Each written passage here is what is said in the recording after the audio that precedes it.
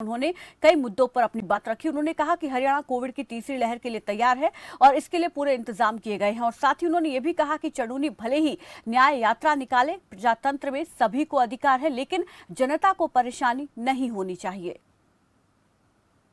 पिछले लगभग डेढ़ महीने से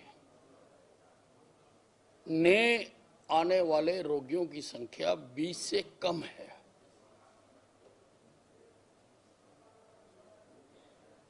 स्थिति नियंत्रण में है, लेकिन हम नज़र रखे हुए हैं। हमने सभी अपने सीएमओस को अभी वीडियो कॉन्फ्रेंसिंग करके हमने कहा है कि चौकस रहें। इंतज़ाम हमारे पास पूरे हैं। नहीं, हरियाणा शुरू ही अम्बाला से होता है, इस साइड से। तो इसमें तो हमें कोई इतराज नहीं है। उनका आंदोलन है। वो यात्रा निकालें, धरना दें, भूख हड़ताल दें, करें। हमें कोई एतराज़ नहीं है। मैंने हमेशा कहा है कि हमारा प्रजातांत्रिक देश है। हर व्यक्ति को आंदोलन करने का अधिकार है। लेकिन आपको किसी की कार के शीशे तोड़ने का अधिकार नहीं है।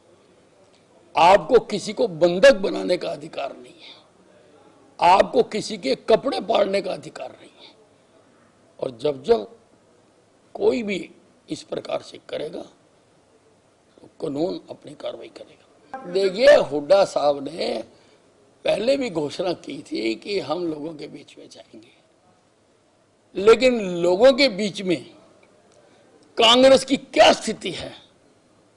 वो एलनाबाद के लोगों ने बता दी, कांग्रेस की जमानत जब्त करा के। लोग कांग्रेस का नाम भी नहीं लेना चाहते। ये जिस दिन से किसानों का मुद्दा शुरू हुआ है, उनको भड़काने के लिए और उनके सिर पर राजनीति अपनी चमकाने के लिए, इन्होंने कभी कोई कसर नहीं छोड़ी।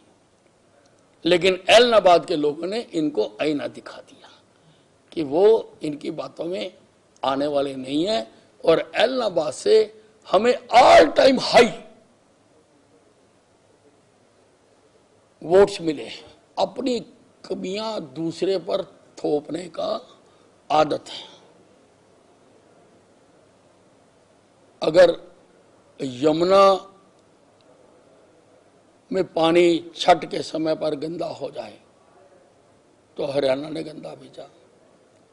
भाई, हमारा सोनीपत में बीओडी नाप लो, अपना ओखला में नाप लो, और दिल्ली से गुजरने के बाद जब यमुना फरीदाबाद जाती है, वहाँ का नाप लो। आपको पता लग जाएगा। दिवाली आती है तो कहते पटाखे मत चलाओ मत चलाओ, अच्छी बात है। पॉल्यूशन को रोकना चाहिए।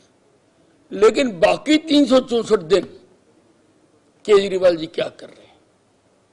यमुना गंदी ना हो। दिल्ली में कितने एसटीपी प्लांट लगाए कितने फंक्शनल हुए कितनी बीओडी कम करी इन्होंने? बताएँ।